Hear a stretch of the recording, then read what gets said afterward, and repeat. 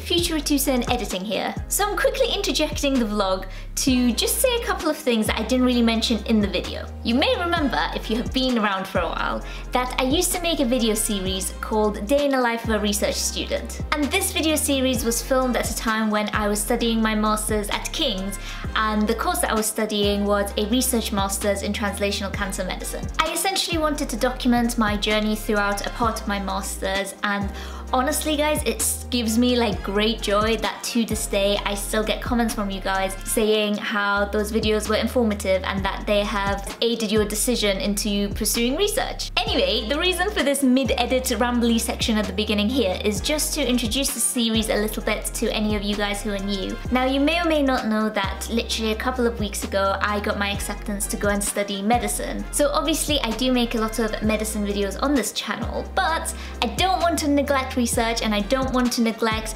my lovely scientists out there who come along for the more research and lab side of things. So to catch you up quickly, after my masters I started working in a lab as a research technician and I do have videos talking about that role, but because a lot of that role consisted of talking to patients, consenting, and um, doing certain assays for a clinical trial, it involved a lot of confidential data, and so I wasn't able to vlog or talk about it as much.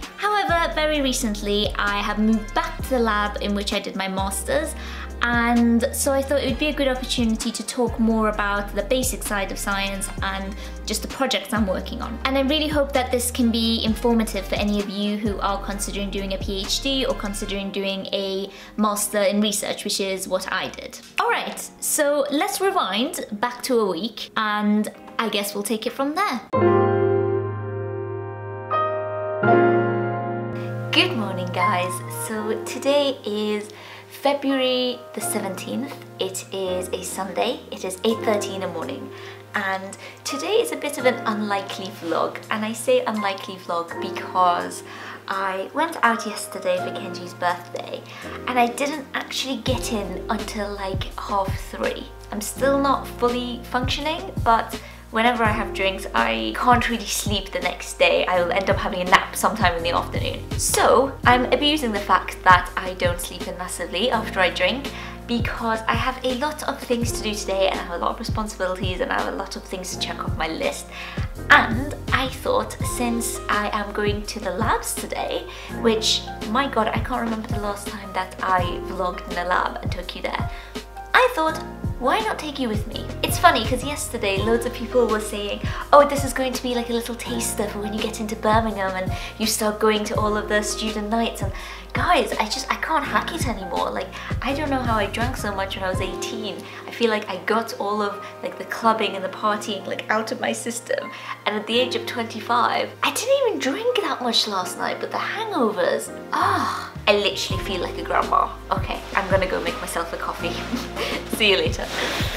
Hey, so it's a little bit later, it's half 11 now, and I thought since it's such a nice day, I'm going to walk to the labs instead of getting the tube, which means I get to take one of my favourite walks through the city. It's really nice from Old Street to London Bridge. It's about a 40 minute walk and it's just essentially right through the heart of the city and I'll, I'll uh, show you some clips. But yeah, I will listen to my audiobook and I'll catch up with you when I'm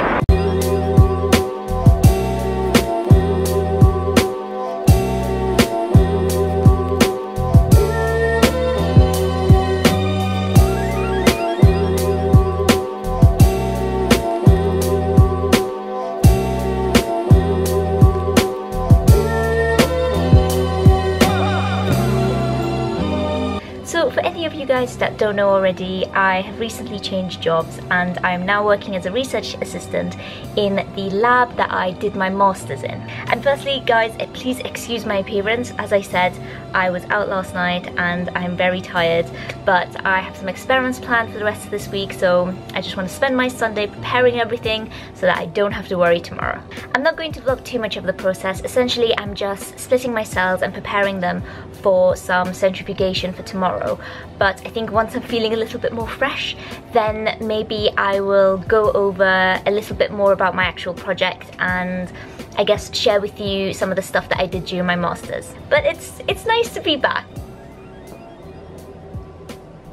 Do you know what? I thought since I'm literally just looking at my cells under the microscope, I can chat to you a little bit. But basically, the reason why I've got so many flasks, and this is only just for two cell lines, is that I am trying to enrich exosomes. And I'll talk about the theory in that later on. But essentially, for any of you guys who are familiar, exosomes are a type of microvesicles that are released from cell lines.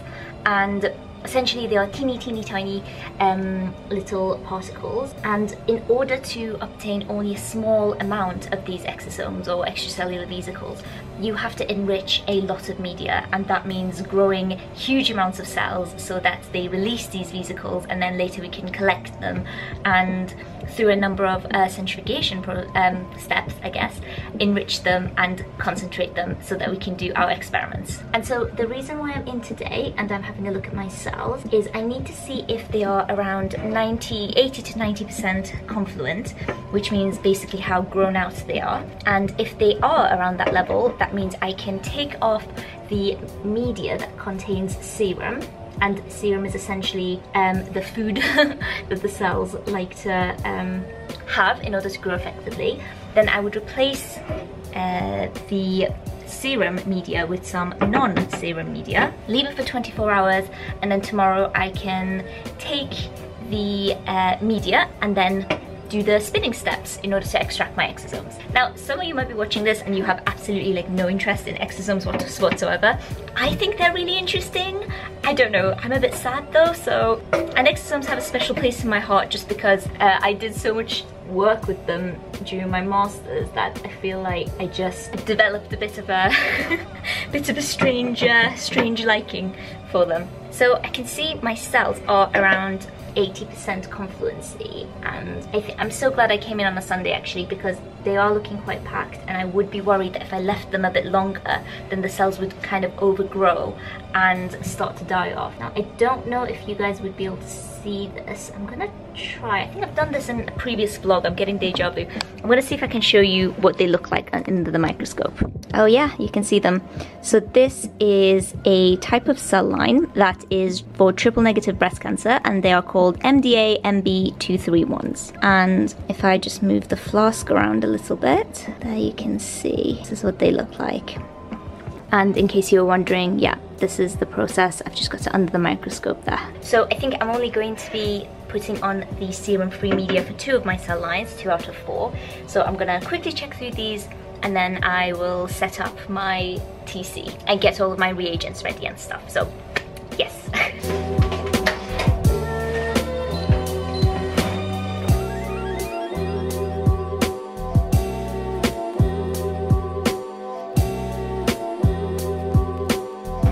say guys, it is an awful lot of plastic that we use. And I was actually having a conversation with one of um, my lovely colleagues who was saying the same thing and saying that we have so much uh, I guess there's so much pollution and so much of an effort to try and reduce um, our waste and plastic waste. And you know it's almost inevitable that we, we go through so much and it's such a shame. But what else can we do? Because there's no way to recycle some of these plastics and obviously because they're contaminants and they contain cancer cells we have to incinerate everything.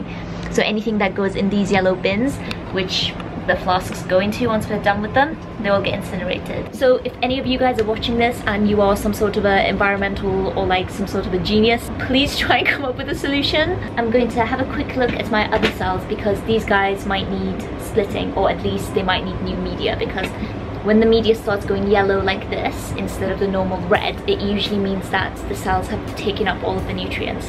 I do just want to show you one more thing in the microscope, and that is that different cell lines have a different phenotype, and by that I mean just the fact that they look completely different.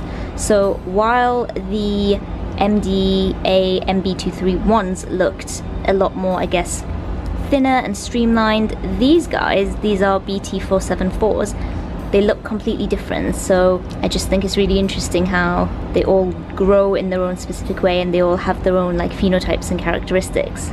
Okay, I've got everything now. Whew, let's get started.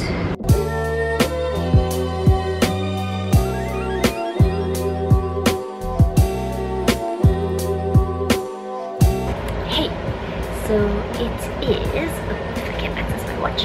Um, it is 10 past 2 and oh my god there was more a lot more work than I had anticipated because I had to like split a lot more myself than I thought but again as I said I'm super glad I came and did it today because they weren't looking particularly happy.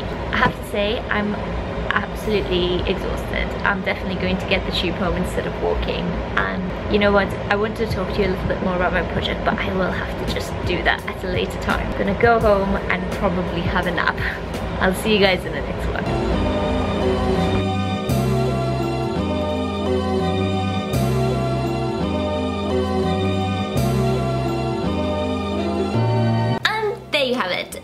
The video getting me back into the swing of research videos. I will leave a playlist of a bunch of videos that I've already made from when I was studying and any other related lab videos and I guess until the next one where I will sit and try and make a more comprehensive video about my project and just general cool things in the lab, I will see you guys later. I hope you have a wonderful day and leave any questions and comments below and we can have a chat downstairs. See you next time.